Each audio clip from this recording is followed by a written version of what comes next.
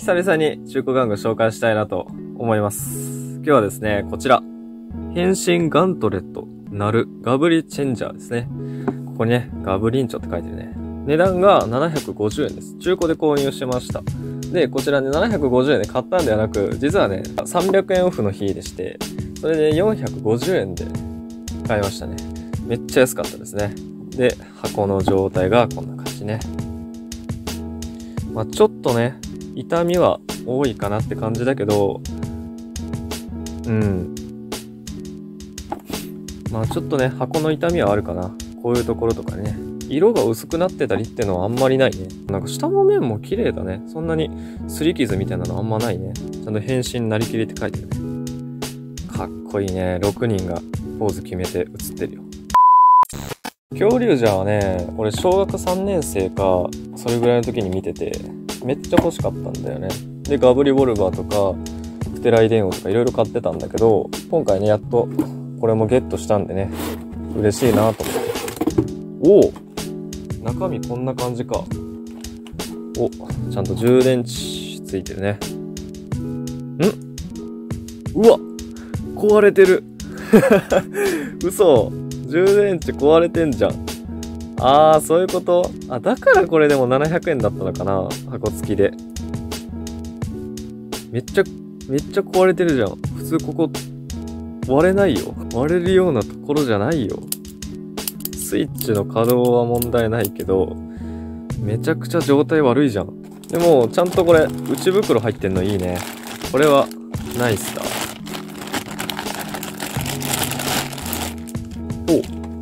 おあ、あ、でも本体綺麗かな。ここのスイッチの周りの塗装ハゲとかはちょくちょくあるね。ここは塗装じゃない。塗装ハゲとかはどうかな。そんなにないよね。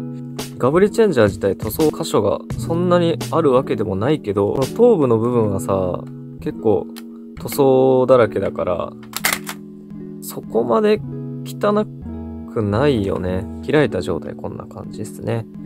これもそんなに塗装剥げしてないな。こことか傷だらけとかだったら最悪だったけどね。反対側とか、こっち側の塗装剥げもそこまでないというか全然ないっすね。持ち主がそこまであれだったのかなでも、充電池壊れてるから子供ではあったのかなこれね、ちょっとビビったことがあって、さっき電池取り出したんですよ。ほんじゃめちゃくちゃ液漏れしてて、最初音なんなかったんですよ。あ、やばいと思って。これ遊べないんじゃね？とか思って。安さの原因それかな？とか思ったけど、え固まってたんですよね？なんか液体みたいなのが。それをね、あのガリガリガリガリって削ったら、一応ね、音鳴ったんでよかったです。一応、電気は通りました。ベルトパーツですね。ベルトパーツは袋に入ってないけど、あ、ベルト止めはついてないね。うん。まあまあ、でもベルトパーツあるだけでも全然いいけどね。音声確認してみましょうか。うん。さっきね、鳴らした時ちゃんと鳴ったからよかった。ブレイブイン。で、ここに入れると。装填する時の音声とかなんないんだ。っ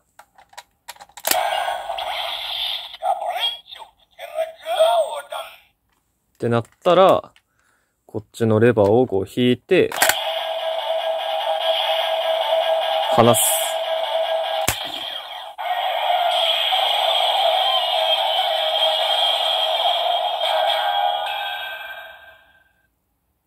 いいね。これで、恐竜ゴールドに変身しましたね。いいね。展開状態こんな感じっすよ。ここも軟質パーツで、で、初めて気づいたのが、ここも軟質パーツなんだよね。これが、わかんなかった。ザンダーサンダーだったっけ？それと連動するための音声だよね。こっちがね、普通の攻撃音とか鳴るボタンね。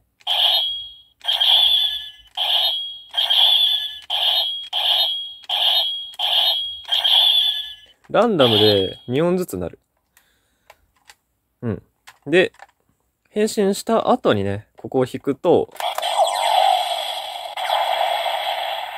なんか弓攻撃みたいな攻撃音が鳴る。ちなみにね、充電池入れてない状態で、このレバーを引くと、攻撃音は鳴るんですけど、さっきの音とはちょっと違うね。まあ遊び的にはこんな感じかな。で、充電池取り出すときは、ここのスイッチを押すことで取り出すことができます。今回の紹介はこんな感じです。では次の動画まで。さらばじゃ。